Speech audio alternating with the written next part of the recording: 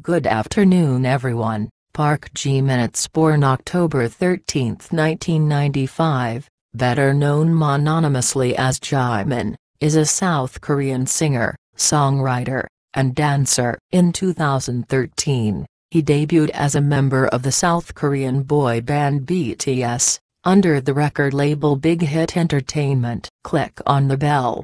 Jimin's vocals have been described as delicate and sweet. He is regarded as an exceptional dancer among the members of the group and in K-pop in general. Noelle Devoe of Elite Daily wrote that he is often praised for his smooth and elegant movements as well as his charm on stage. In the BTS documentary Burn the Stage, Jimin said he thinks of himself as a perfectionist and that even the smallest mistakes on stage make him feel guilty and stressed. He has cited singer Rain as one of his inspirations and reasons why he wanted to become both a singer and performer. Impact and influence In 2016, Jimin was ranked as the 14th most popular idol in an annual survey conducted by Gallup Korea.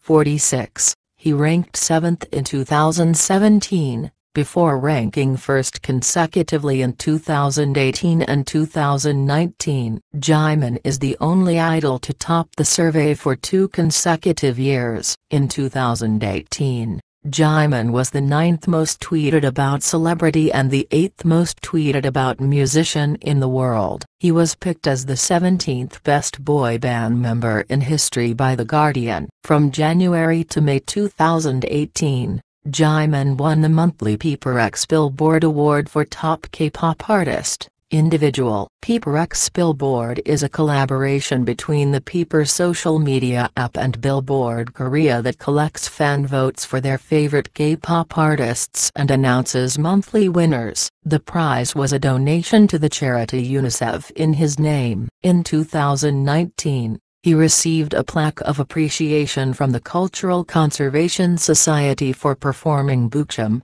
a traditional Korean fan dance during the 2018 Melon Music Awards and helping spread the dance outside of Korea. As of 2021, Jimin has topped the brand reputation ranking for individual boy group idols for 34 consecutive months. Philanthropy From 2016 to 2018, Jimin supported graduates of Busan Hodong Elementary School, his alma mater by covering uniform expenses. After news of the school's closing was released, he donated summer and winter middle school uniforms to the final graduates and gifted autographed albums to the entire student body. 54, in early 2019, Jimin donated KRW 100 million, 88,000 US dollars, to the Busan Department of Education to help support lower-income students. Of the total, 30 million South Korean won, $23,000, went to his alma mater, Busan Arts High School. In July 2020, he donated another 100 million South Korean won, this time to the Jeonnam Future Education Foundation for the creation of a scholarship fund for talented but financially struggling students from South Jeolla Province.